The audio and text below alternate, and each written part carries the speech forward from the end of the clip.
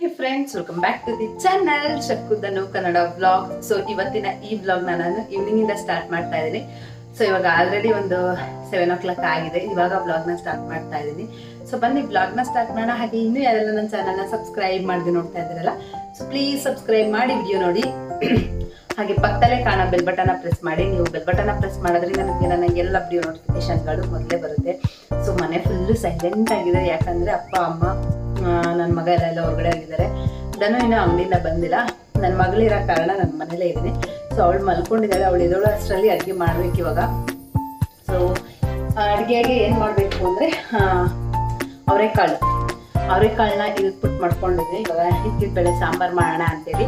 So ಬನ್ನಿ ಹಾಗೆ recipe ಜೊತೆ ಇವತ್ತಿನ ಬ್ಲಾಗ್ನ ನಾವು ಸ್ಟಾರ್ಟ್ ಮಾಡೋಣ. ಓಕೆನಾ ಸೊ ಇಲ್ಲಿ ನಾನು ಎರಡು ಮೀಡಿಯಂ ಸೈಜ್ ಈರುಳ್ಳಿನ ಉದ್ದು ಕಟ್ ಮಾಡ್ಕೊಂಡಿನಿ ಹಾಗೆ ಅರ್ಧ ಟೊಮೊಟೊ ಒಂದು ಎರಡು ಗೆಡ್ಡೆಯಷ್ಟು ಬೆಳ್ಳುಳ್ಳಿ, ಒಂದು ಇಂಚ್ ಅಥವಾ ಒಂದೂವರೆ ಇಂಚಷ್ಟು ಶುಂಠಿ, ಹಾಗೆ ಸ್ವಲ್ಪ ಸ್ವಲ್ಪ ತೆಂಗಿನಕಾಯಿ, ಹಸಿ ತೆಂಗಿನಕಾಯಿ, ಹಾಗೆ ಇಲ್ಲಿ ಒಂದು ಇಷ್ಟು ಸೈಜ್ ಅಂದರೆ ಒಂದು ಅರ್ಧ ಇಡಿಯಷ್ಟು ಪುದೀನ, ಅರ್ಧ ಇಡಿಯಷ್ಟು ಕೊತ್ತಂಬರಿ ಸೊಪ್ಪನ್ನ ನಾನಿಲ್ಲಿ ತೊಗೊಂಡಿದ್ದೀನಿ. ಸೊ ಫಸ್ಟ್ ಇವಾಗ ಇದನ್ನೆಲ್ಲ ಫ್ರೈ ಮಾಡ್ಕೊಳ್ಳೋಣ. ಜೊತೆಗೆ ಇದ್ರ ಜೊತೆಗೆ ಹಸಿರು ಸಾರಿ ಒಣಮೆಣ್ಸಿನ್ಕಾಯಿ ಹಾಕೋರು ಒಣಮೆಣ್ಸಿನ್ಕಾಯಿ ಹಾಕೋಬೋದು. ಹಸಿಮೆಣಸಿನ್ಕಾಯಿ ಹಾಕೋಣವ್ರು ಹಸಿಮೆಣಸಿನ್ಕಾಯಿ ಹಾಕ್ಬೋದು. ಸೊ ನಾನಿವತ್ತು ಹಸಿಮೆಣಸಿನ್ಕಾಯಿ ಸಾರಿ ಒಣಮೆಣ್ಸಿನ್ಕಾಯಿನ ಯೂಸ್ ಮಾಡ್ತಾ ಇದ್ದೀನಿ. ಸೊ ಬನ್ನಿ ರೆಸಿಪಿ ಬ್ಲಾಗ್ನ ನಾನು ಸ್ಟಾರ್ಟ್ ಮಾಡೋಣ, ಓಕೆನಾ? ಸೊ ಫಸ್ಟ್ ಸ್ವಲ್ಪ ಎಣ್ಣೆ ಹಾಕೊಂಡ್ಬಿಡ್ತೀನಿ. ಈರುಳ್ಳಿ ಕರಿಯೋಕ್ಕೋಸ್ಕರ. ಈರುಳ್ಳಿ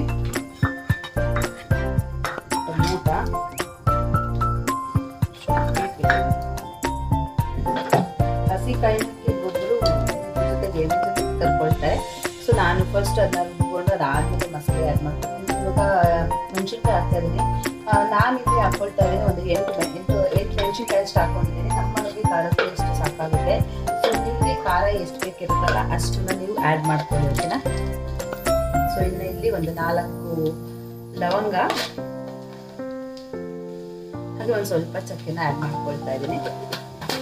ಸೊ ಈರುಳ್ಳಿ, ಟೊಮೊಟ, ಶುಂಠಿ, ಬೆಳ್ಳುಳ್ಳಿ ಆ್ಯಂಡ್ ಚಕ್ಕೆ, ಲವಂಗ, ಮೆಣಸಿನ್ಕಾಯಿನ ಇವಾಗ ಫ್ರೈ ಮಾಡ್ಕೊಳ್ಳೋಣ.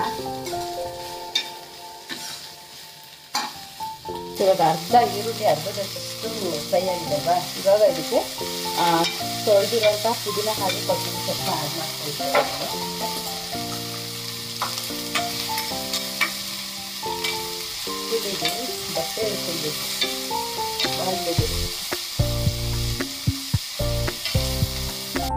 ಸೊ ಇಲ್ಲಿ ನಾನು ಇವಾಗ ಇದಕ್ಕೆ ಒಂದು ಸ್ಪೂನ್ ಅಷ್ಟು ಹುರ್ಗಡ್ಲೆನ ಹಾಕೊಂಡಿದ್ದೀನಿ ಹಾಗೆಯೇ ಮೂರರಿಂದ ನಾಲ್ಕು ಸ್ಪೂನ್ ಅಷ್ಟು ಅಂದರೆ ನಾರ್ಮಲ್ ಟೇಬಲ್ ಸ್ಪೂನ್ ಅಷ್ಟು ಇಲ್ಲಿ ನಾನು ಧನಿಯಾ ಪುಡಿನ ಹಾಕೊಂಡಿದ್ದೀನಿ ಸೊ ಇವಾಗ ಇಲ್ಲಿ ಧನಿಯಾ ಪುಡಿ ಹಾಕಿದ್ಮೇಲೆ ಒಂದು ಎರಡು ನಿಮಿಷದಷ್ಟು ಈ ಥರ ಅದನ್ನ ಸ್ವಲ್ಪ ಬಿಸಿ ಮಾಡಿಸ್ಕೊಂಡು ಆರಕ್ಕಿಟ್ಟಿದ್ದೀನಿ. ಹಾಗೇನೇ ಇಲ್ಲಿ ಒಂದು ಸೈಡ್ ನಾನು ಅಕ್ಕಿ ಇಡ್ತಾ ಇದ್ದೀನಿ, ಅನ್ನ ಮಾಡೋಕ್ಕೆ ಅಂತೇಳಿ. ನನ್ನ ಮಗಳು ಕೂಡ ಅಷ್ಟೆಲ್ಲ ಎದ್ದಿದ್ದಾಳೆ. ಸೊ ನಮ್ಮ ಮನೇಲಿ ನಾವು ಯೂಸ್ ಮಾಡೋದು ಉಪ್ಪಿಗೆ ಕಲ್ಲುಪ್ಪಾಗಿರ್ಬೋದು ಪುಡಿ ಉಪ್ಪಾಗಿರ್ಬೋದು ಎರಡಕ್ಕೂ ಕೂಡ ಗ್ಲಾಸ್ ಕಂಟೈನರ್ನ ಯೂಸ್ ಮಾಡ್ತಾ ಇದ್ದೀವಿ. ಯಾಕೆ ಅಂತಂದರೆ ಗ್ಲಾ, ಅದು ಉಪ್ಪಲ್ಲಿ ನೀರು ಬಿಟ್ಕೊಳುತ್ತಲ್ವ ಸೊ ಅದು ಸ್ಟೀಲ್ ಆಗಿರ್ಬೋದು ಅಥವಾ ಪ್ಲಾಸ್ಟಿಕ್ ಆಗಿರ್ಬೋದು. ಈ ಎರಡು ಬಾಕ್ಸಲ್ಲಿ ಇಟ್ಟೋದ್ರಿಂದ ಅದು ರಿಯಾಕ್ಟ್ ಆಗುತ್ತೆ ಕೆಮಿಕಲ್ ರಿಯಾಕ್ಟ್ ಆಗುತ್ತೆ ಹಾಗೆಯೇ ಅದು ಒದೇ ಅದೇ ಥರ ಇರುತ್ತಲ್ಲ? ಸೊ ಆ ಥರ ಆಗುತ್ತೆ. ಬಟ್ ಈ ಥರ ಗ್ಲಾಸ್ ಕಂಟೈನರಲ್ಲಿ ಯೂಸ್ ಮಾಡೋದ್ರಿಂದ ಆ ಥರ ನೀರು ಬಿಟ್ ಉಪ್ಪಲ್ಲಿ ನೀರು ಬಿಟ್ಕೊಳ್ಳೋದಾಗಿರಲಿ ಅಥವಾ ಏನೂ ಆಗಲ್ಲ. ಹಾಗೆಯೇ ಇದು ಕೆಮಿಕಲ್ ಕೂಡ ಕೆಮಿಕಲಿ ಕೂಡ ರಿಯಾಕ್ಟ್ ಆಗಲ್ಲ. ಸೊ ಆ ಕಾರಣದಿಂದಾಗಿ ನಾನು ನಮ್ಮಮ್ಮ ಮನೇಲೂ ಅಷ್ಟೇ ನಮ್ಮ ಮನೇಲೂ ಅಷ್ಟೇ ಗ್ಲಾಸ್ ಕಂಟೈನರ್ನ ನಾವು ಉಪ್ಪನ್ನ ಸ್ಟೋರ್ ಮಾಡೋಕ್ಕೆ ಯೂಸ್ ಮಾಡ್ತೀವಿ. ನೀವು ಗ್ಲಾಸ್ ಕಂಟೈನರ್ ಆದರೂ ಯೂಸ್ ಮಾಡ್ಬೋದು ಅಥವಾ ಪಿಂಗಾಣಿ ಸೆರಾಮಿಕ್ ಈ ಥರ ಆದರೂ ಯೂಸ್ ಮಾಡ್ಬೋದು. ಬಟ್ ಯಾವುದೇ ಕಾರಣಕ್ಕೂ ಪ್ಲಾಸ್ಟಿಕ್ ಆಗಿರ್ಬೋದು ಅಥವಾ ಸ್ಟೀಲ್ನ ನಾವು ಉಪ್ಪನ್ನ ಸ್ಟೋರ್ ಮಾಡೋಕ್ಕೆ ಯೂಸ್ ಮಾಡಬಾರ್ದು. ಅದಂದರೆ ಒಂಥರ ಸ್ಲೋ ಪಾಯ್ಸನ್ ಥರ ರಿಯಾಕ್ಟ್ ಆಗುತ್ತೆ. ಮತ್ತು ಇನ್ನೊಂದು ಏನಂತಂದರೆ ಈ ಥರ ಇದಕ್ಕಿದ ಬೆಳೆ ಕಾಳು ಸಾಂಬಾರು ಇರ್ಬೋದು, ಕಾಳು ಸಾಂಬಾರು ಇರ್ಬೋದು ಮಾಡುವಾಗ ಸೊ ಒಂದು ನಿಮಿಷ ಅದು ನಾವು ಒಗ್ಗರಣೆ ಹಾಕಿದಾಗ ಹಸಿ ನೆನೆ ಎಣ್ಣೆಲಿ ಕರ್ಕೊಳ್ಳೋದ್ರಿಂದ ಅದು ಹಸಿ ಸ್ಮೆಲ್ ಇರುತ್ತಲ್ಲ, ಆ ಹಸಿ ಸ್ಮೆಲ್ ಸ್ಮೆಲ್ ಹೋಗುತ್ತೆ ಸೊ ಸಾಂಬಾರು ಕೂಡ ಟೇಸ್ಟ್ ಚೆನ್ನಾಗಾಗುತ್ತೆ. ಕೆಲವೊಮ್ಮೆ ಏನು ಮಾಡ್ತೀವಿ ಅಂದರೆ ಮಸಾಲೆ ಹಾಕಿದ್ಮೇಲೆ ಏನಾದರೂ ಕಾಳು ಹಾಕಿದ್ರೆ ಹೇಗಿದ್ರು ಬೇಯುತ್ತಲ್ವ ಬೇಗ ಅಂತೇಳಿ ಹಾಕಿ, ಮಸಾಲೆ ಮತ್ತು ಕಾಳು ಎರಡು ಒಟ್ಟಿಗೆ ಹಾಕಿದ್ರೆ ಅದು ಕಾಳಲ್ಲಿ ಸ್ವಲ್ಪ ಸ್ವಲ್ಪ ಹಸಿ ಸ್ಮೆಲ್ ಅದೇ ಥರ ಇರುತ್ತೆ. ಸೊ ಅದಕ್ಕೇನೆ ಈ ಥರ ಎಣ್ಣೆ ಜೊತೆ, ಎಣ್ಣೆ ಒಗ್ಗರಣೆ ಎಲ್ಲ ಹಾಕ್ಕೊಂಡ್ಮೇಲೆ ಕಾಳು ಹಾಕ್ಬಿಟ್ಟು ಸ್ವಲ್ಪ ಒಂದು ಚಿ, ಒಂದು ಚಿಟಿಕೆಯಷ್ಟು ಅಷ್ಟನ್ನು ಹಾಕ್ಕೊಂಡು ನಾವು ಒಂದು ಎರಡು ಸೆಕೆಂಡ್ ಅಷ್ಟು ನಾವು ಎಣ್ಣೆಯಲ್ಲಿ ಈ ಥರ ಒಗ್ಗರಣೆಯಲ್ಲಿ ಕಾಳನ್ನ ಹುರ್ಕೊಳ್ಳೋದ್ರಿಂದ ಅದು ಹಸಿ ವಾಸನೆ ಕೂಡ ಹೋಗುತ್ತೆ ಟೇಸ್ಟು ಅಷ್ಟೇ ಚೆನ್ನಾಗಾಗುತ್ತೆ. ಹಾಗೆಯೇ ಇನ್ನೂ ಬೇಗ, ಅಂದರೆ ಇವಾಗ ಸ ಮಸಾಲೆ ಎಲ್ಲ ಒಟ್ಟಿಗೆ ಹಾಕಿದಾಗ ಬೇಯುತ್ತಲ್ಲ, ಅದಕ್ಕಿಂತ ಇನ್ನೂ ಸ್ವಲ್ಪ ಬೇಗ ಟೈಮಲ್ಲೇನೆ ಅಡುಗೆ ಕೂಡ ರೆಡಿ ಆಗಿಬಿಡುತ್ತೆ. ಇವಾಗ ಇದೆಲ್ಲ ನೀಟಾಗಿ ಫ, ಸ್ವಲ್ಪ ಕರ್ಕೊಂಡ ಮೇಲೆ ನಾನು ರುಬ್ಬಿರೋ ಅಂತಹ ಮಸಾಲೆನ ನಾನಿಲ್ಲಿ ಆ್ಯಡ್ ಮಾಡ್ಕೊಳ್ತಾ ಇದ್ದೀನಿ. ಸೊ ರುಬ್ಬಿರೋ ಮಸಾಲೆ ಎಲ್ಲ ಹಾಕ್ಕೊಂಡು, ಹದ ನೋಡಿಕೊಂಡು ನಮಗೆ ಸಾಂಬಾರು ಯಾವ ಥರ ಕನ್ಸಿಸ್ಟೆನ್ಸಿಲಿ ಬೇಕಲ್ಲ ಅಷ್ಟು ಕನ್ಸಿಸ್ಟೆನ್ಸಿಗೆ ನೀರು ಹಾಕ್ಕೊಂಡು ಇವಾಗ ರುಚಿಗೆ ಎಷ್ಟು ಬೇಕು ಅಷ್ಟು ಉಪ್ಪು ಹಾಕೊಳ್ತಾ ಇದ್ದೀನಿ.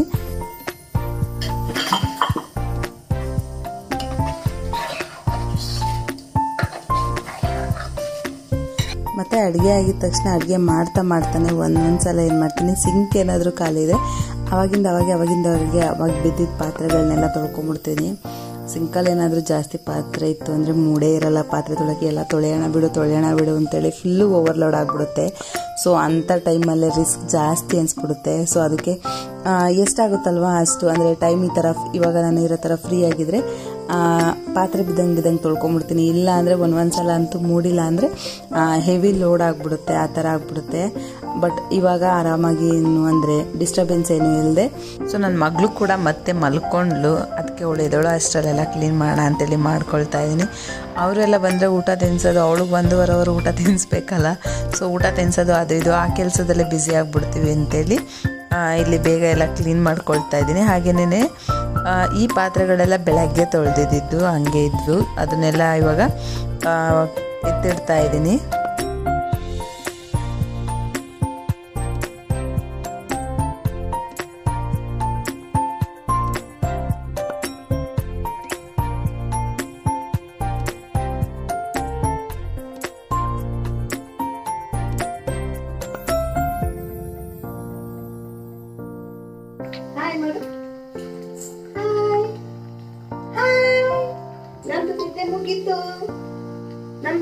ಹಾಯ್. ನನ್ನ ಪಾತ್ರೆ ಜೋಡಿಸೋಷ್ಟರ ಅವಳು ಕೂಡ ಎದ್ಲು, ಹಾಗೆ ಅವಳನ್ನ ಎತ್ಕೊಂಡು ಸ್ವಲ್ಪ ಸಮಾಧಾನ ಮಾಡಿ. ಇನ್ನು ರಿಮೈನಿಂಗ್ ಏನು ಪಾತ್ರೆ ಎಲ್ಲ ಇದೆಯಲ್ಲ ಅದನ್ನೆಲ್ಲ ಎತ್ತಿಡ್ತಾ ಇದ್ದೀನಿ. ಸೊ ನಂದು ಪಾತ್ರೆ ತೊಳೆದಿದ್ದು ಮತ್ತು ಜೋಡಿಸಿದ್ದೆಲ್ಲ ಆಗಷ್ಟರಲ್ಲಿ ಕಡೆ ಸಾಂಬಾರು ಕೂಡ ಆಗಿದೆ. ಸೊ ಚೆನ್ನಾಗಿತ್ತು ಟೇಸ್ಟ್ ಕೂಡ ಚೆನ್ನಾಗಿತ್ತು. ನೋಡಿದ್ರಲ್ಲ ಹೇಗೆ ಅನಿಸ್ತು ರೆಸಿಪಿ ವ್ಲಾಗ್ ಅಂತೇಳಿ ನೀವು ಕಮೆಂಟ್ ಸೆಕ್ಷನಲ್ಲಿ ಕಮೆಂಟ್ ಮಾಡಿ. ನಿಮಗೆ ನೀವು ಯಾವ ಥರ ಮಾಡ್ತೀರಾ ಅಂತೇಳಿ ಕೂಡ ಕಮೆಂಟ್ ಸೆಕ್ಷನಲ್ಲಿ ತಿಳಿಸಿ ಓಕೆನಾ ಸೊ ಅಡುಗೆ ಎಲ್ಲ ಆಯಿತು. ಅನ್ನ, ಸಾಮ್, ಅನ್ನ ಒಂದು ಸಾಂಬಾರು ಒಂದ್ಸಲ ಇಡೋಷ್ಟ್ರಲ್ಲಿ ಮಧ್ಯ ಒಂದ್ಸಲ ಎದರ್ಲಿ ಇವಳು ಸೊ ಮತ್ತೆ ಅದಾದ್ಮೇಲೆ ಮಲಗಿಸ್ದೆ ಸಾಂಬಾರೆಲ್ಲ ಆಯಿತು. ಮುಕ್ಕಾಲ್ವಾಗ ಆದ್ಮೇಲೆ ಎದ್ಲು ಇವಾಗ. ಇವ್ಳಿಗಿನ್ನೇನು ಊಟ ತಿನ್ಸ್ಬೇಕು ಇವಾಗ. ಸೊ ಇವಾಗ ಎದ್ದಾಳಲ್ವಾ? ಸ್ವಲ್ಪ ನಿದ್ದೆಗಣ್ಣು ಹೋಗ್ಲಿ, ಆಮೇಲೆ ಊಟ ತಿನ್ಸೋಣ ಅಂತೇಳಿ ನಾನು ಸುಮ್ಮನೆ ಕುಂತಿದ್ದೀನಿ, ತೆಗೆದುಬಿಟ್ಟು. ಅದೇನಂದ್ರೆ, ಎರಡು ಜಡೆ ಹಾಕ್ದಾಗ, ರಬ್ಬರ್ ಬ್ಯಾಂಡ್ ಹಾಕ್ದಾಗ ಸ್ವಲ್ಪ ಟೈಟಾಗಿ ಕುತ್ಕೊಳ್ಳುತ್ತಲ್ವಾ ಸೊ ಅವಳಿಗೆ ಕಿರಿಕಿರಿ ಆಗುತ್ತೆ ಅಂದ್ಬಿಟ್ಟು ಹೇರ್ ಬ್ಯಾಂಡ್ ಹಾಕೋದು ಕ್ಲಿಪ್ ಹಾಕೋದು. ಇಲ್ಲ ಅಂದ್ರೆ ಜಡೆ ಎಣಿಯೋದು ಈ ಥರ ಮಾಡ್ತೀನಿ ಅಂದರೆ ಜಡೆ ಎಣಿಯೋದು ಅಂದರೆ ಸ್ವಲ್ಪ ಲೂಸಾಗಿ ಎಣಿತೀನಿ, ಮುಂದೆ ಇದೆಲ್ಲ ಸೇರಿಸ್ಕೊಂಡು. ಆ ಥರ ಮಾಡ್ತೀನಿ. ಬಟ್ ಇವಳು ಹೇರ್ ಬ್ಯಾಂಡ್ ಹಾಕಿದ್ರೆ ನೋಡಿ ಈ ಥರ ಮಾಡ್ಕೊಳ್ತಾಳೆ. ರಬ್ಬರ್ ಬ್ಯಾಂಡ್ ಹಾಕಿದ್ರೆ ಇರುತ್ತೆ. ಚೆನ್ನಾಗಿಲ್ಲ. ನಿಂಗಾಕೋ ಚೆನ್ನಾಗಿರುತ್ತೆ. ಅಮ್ಮ ಚೆನ್ನಾಗಿದ್ಯಾ ಅಂತ ಕೇಳ್ತಾ ಇದ್ದಾಳೆ. ಸೊ ರಬ್ಬರ್ ಬ್ಯಾಂಡ್ ಹಾಕಿದ್ರೆ ಸ್ವಲ್ಪ ಟೈಟ್ ಹಾಕಿದ್ರೆ ಏನಾಗುತ್ತೆ ಒಂದು ನೋವು, ಕೂದಲೆಲ್ಲ ಒಂಥರ ಚಿಳ್ಳನ್ನಂಗೆ ಆಗುತ್ತಲ್ವಾ ಅಂತೇಳಿ ನಾನು ಹಾಕಿರ್ಲಿಲ್ಲ. ನೋಡಿ ಹೆಂಗ್ ಮಾಡ್ಕೊಂಡಿದ್ದಾಳೆ. ನಂಗೆ ಚೆನ್ನಾಗಿಲ್ಲ, ನಿನಗೆ ಚೆನ್ನಾಗಿರೋದು. ನೀನು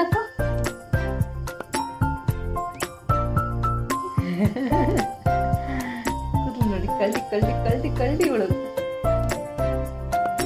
ಸೊ ಮೂರನೇ ಮುಡಿ ಕೊಡಬೇಕು, ಇನ್ನು ಮೂರನೇ ಮುಡಿ ಕೊಟ್ಟಿಲ್ಲ.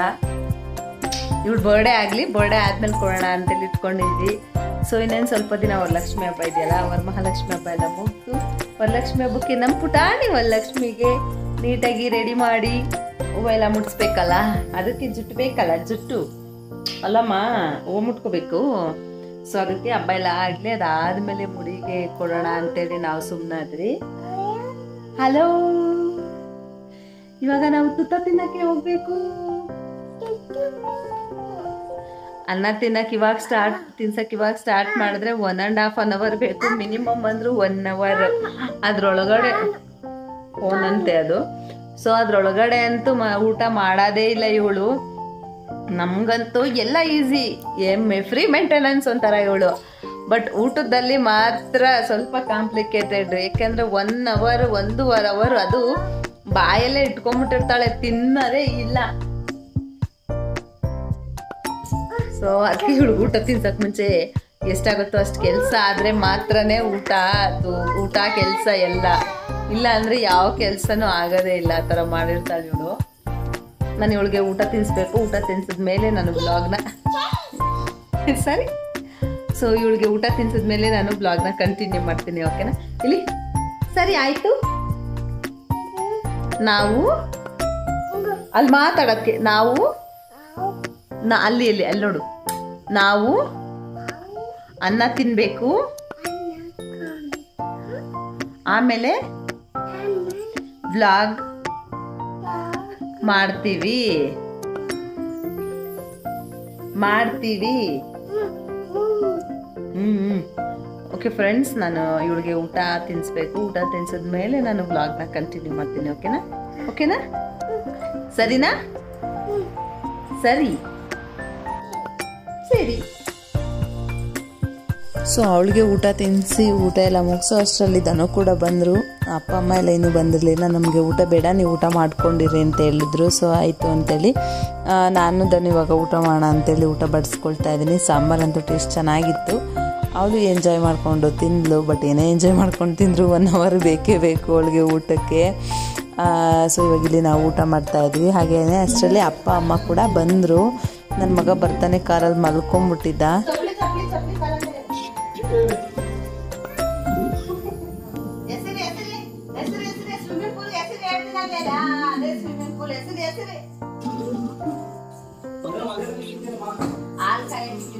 ಸೊ ಹಾಗೆ ಬರ್ತಾ ಅಪ್ಪ ಅಮ್ಮ ಸ್ವೀಟ್ಸ್ ತೊಗೊಂಬಂದಿದ್ರು. ಇದು ಡ್ರೈ ಫ್ರೂಟ್ಸ್ ಬಾರ್ ಬರುತ್ತಲ್ಲ ಅದು ಹಾಗೇನೆ ಜಿಲೇಬಿನ ತೊಗೊಂಬಂದಿದ್ರು. ಇಲ್ಲಿ ತಿನ್ಕೊಂಡು ಹಂಗೆ ಊಟ ಮಾಡ್ತಾ ಇದ್ವಿ.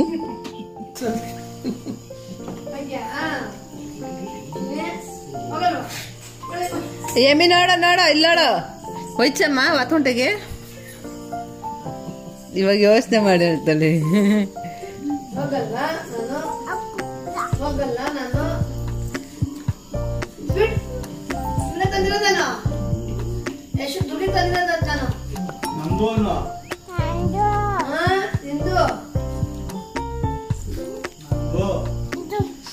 ಸೊ ಇವಾಗ ಇಲ್ಲಿ ಊಟ ಎಲ್ಲ ಮುಗಿಸಿ ಹಾಗೆ ಊಟದದ್ದು ಪಾತ್ರೆ ಅಷ್ಟೇ ಐತಲ್ವ? ಅದೆಲ್ಲ ಕ್ಲೀನ್ ಮಾಡಿಬಿಟ್ಟು ಅಡುಗೆ ಮನೆನ ಕ್ಲೀನ್ ಮಾಡ್ತಾ ಇದ್ದೀನಿ. ನಾನು ನನಗೆ ಟೈಮ್ ಇತ್ತು ಅಂದರೆ ಅಂದರೆ ಮನೇಲೇ ಇದ್ದರೆ ನಾನು ಆಲ್ಮೋಸ್ಟ್ ಎಲ್ಲ ದಿನವೂ ಈ ಥರ ಅಡುಗೆ ಆದಮೇಲೆ ಊಟ ಅಡುಗೆ ಆದಮೇಲೆ ಈ ಥರ ಒಂದ್ಸಲ ಕ್ಲೀನ್ ಮಾಡ್ಕೊಳ್ತೀನಿ. ಮತ್ತು ಊಟ ಆದಮೇಲೆ ಅಷ್ಟೇ ಎಲ್ಲ ಕ್ಲೀನ್ ಮಾಡಿಕೊಂಡು ಪಾತ್ರೆ ಊಟದ್ದೆಲ್ಲ ಏನು ಪಾತ್ರೆ ಇರುತ್ತಲ್ಲ ಅದೆಲ್ಲ ತೊಳೆದ್ಬಿಟ್ಟು ಈ ಥರ ನೀಟ್ ಮಾಡಿ ಇಡ್ತೀನಿ ನೈಟ್ ಟೈಮಲ್ಲಿ ಯಾಕೆಂದರೆ ನೈಟ್ ಟೈಮಲ್ಲಿ ಈ ಥರ ನೀಟ್ ಮಾಡ್ಕೊಳ್ಳೋದ್ರಿಂದ ಬೆಳಗ್ಗೆ ಎದ್ದಾಗ ಈಸಿ ಆಗುತ್ತೆ ಅಂತೇಳಿ. ಬಟ್ ಕೆಲವೊಮ್ಮೆ ಅಂಗಡಿಯಿಂದ ಬಂದಾಗ ಸಾಕಾಗಿರುತ್ತಲ್ಲ, ಅಂದರೆ ಜಾಸ್ತಿ ಟಯರ್ಡ್ ಅನಿಸಿದಾಗ ಊಟ ಮಾಡಿ ಮಲ್ಕೊಂಡ್ರೆ ಸಾಕಾಗಿರುತ್ತೆ. ಅಂಥ ಟೈಮಲ್ಲಿ ನಿಜ ಏನೂ ಕ್ಲೀನ್ ಮಾಡೋಕ್ಕಾಗಿರಲ್ಲ ಸೊ ಈ ಥರನೂ ಇರುತ್ತೆ ಒಂದೊಂದ್ಸಲ ಆ ಥರನೂ ಇರುತ್ತೆ. ಸೊ ನೋಡಿದ್ರಲ್ಲ, ಈ ಒಂದು ವ್ಲಾಗ್ ನಿಮಗೆ ಇಷ್ಟ ಆಗಿದೆ ಅಂದ್ಕೊತೀನಿ ಇಷ್ಟ ಇದ್ದರೆ ಪ್ಲೀಸ್ ಲೈಕ್ ಮಾಡಿ ಶೇರ್ ಮಾಡಿ ಕಮೆಂಟ್ ಮಾಡಿ. ಏನಾದರೂ ವಿಡಿಯೋ ಸ್ವಲ್ಪನಾದರೂ ಇಷ್ಟ ಆದರೆ ಪ್ಲೀಸ್ ನನ್ನ ಚಾನಲ್ನ ಸಬ್ಸ್ಕ್ರೈಬ್ ಮಾಡಿ ವಿಡಿಯೋ ನೋಡಿ ಓಕೆನಾ ಓಕೆ ಬಾ ಬಾಯ್ ಟೇಕ್ ಕೇರ್ ಮತ್ತು ಇನ್ನೊಂದು ವ್ಲಾಗಲ್ಲಿ ಸಿಗ್ತೀನಿ ಅಂತ ಹೇಳ್ತಾ ಇರ್ತೀನಿ. ಈ ವ್ಲಾಗ್ನ ನಾನು ಏನು ಮಾಡ್ತಾ ಇದ್ದೀನಿ ಓಕೆನಾ ಓಕೆ ಬಾ ಬಾಯ್ ಟೇಕ್ ಕೇರ್